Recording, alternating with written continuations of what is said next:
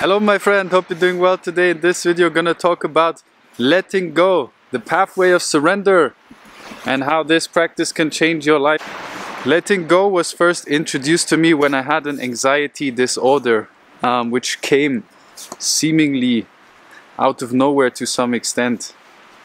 And I woke up one morning with intense anxiety, panic attacks, dread, and a sense of impending doom. And I really didn't um, understand what was happening with me. And then I pretty much had an anxiety disorder. And at first, I was fighting this anxiety and resisting, obsessing about it, researching it, and constantly Googling what is going on. Am I going insane? Am I going crazy? And just making it worse, just basically resisting it. And as Carl Jung says, what you resist persists, right? So by fighting the anxiety, by obsessing about it, you're actually making it worse, my friend, you know? So that's why acceptance, surrender, letting go is absolutely critical in, um, yeah, transcending limited states of being, negative emotions, limiting beliefs, etc. These can all be transcended by practicing surrender, acceptance, letting go. And it just means um, welcoming these um, experiences, I'll call them, or invitations, and just allowing them to be there and to not fight them, to just surrender to it, to just give up the fight, you know? Can you stop fighting your feelings and thoughts? Can you stop adding resistance to them or judging them and instead just neutrally observe them? This is the key to healing um, those emotions and thoughts. You know, there's one aspect of letting go or acceptance, um, or one modality of letting go or acceptance, and it's called the Sedona method. For example, and it involves asking four questions. What is my now feeling?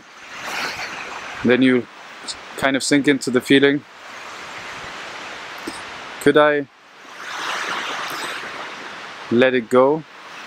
Yes or no? Just simply answering, not taking, not over mentally analyzing.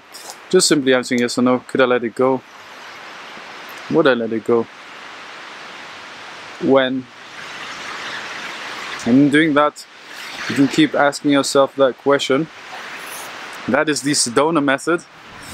Um, but I just prefer just simply letting go. It becomes second nature eventually where you don't even have to practice it consciously. You just kind of, you just accept what is, right?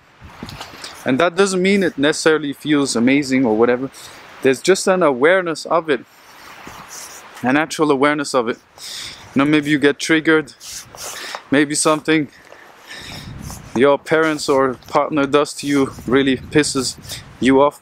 Then you're like, oh, you kind of just accept it, you know. What's the point in fighting it? It's futile. Um, you're just fighting yourself when you do that. So the key is to just practice acceptance, letting go, surrender. And as you do this, you will feel increasingly free. And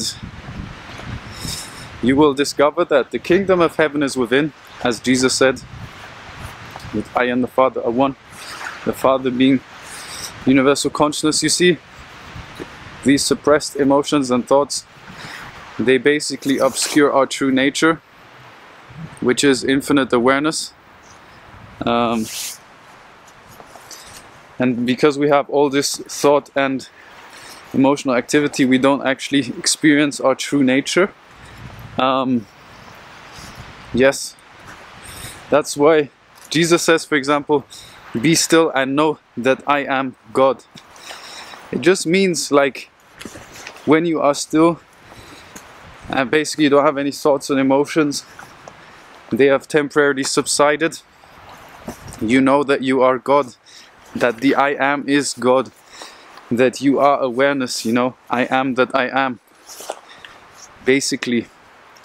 So you know, we, we kind of confuse this I am sense with desire. We desire something, and then when we fulfill that desire, temporarily that desire ceases. We appear to be free from desire because we have fulfilled that desire, and temporarily our thoughts subside and then we experience peace right and we associate that not to our inner state of awareness but rather to the object of that desire externally but you can see that that's never lasts right? We fulfill a desire we temporarily feel good and then a new desire comes so we're constantly chasing desire fulfillment happiness externally when it's always there. It's actually just us experiencing awareness but confusing that for the external world and desire. And so the key is to like realize that within you know. Kingdom of heaven is within basically. And letting go acceptance is a great step in that direction because we're basically doing the opposite. We're resisting we're fighting we're researching we're obsessing. We're constantly trying to fix the external world instead of accepting it you know so um, I hope you like this video about letting go. You can also watch this other video about letting go. And I generally have lots of videos on letting go and if you like this video you can also download my free morning ritual cheat sheet in the comment section below. And I'll see you in the next one. Peace and much love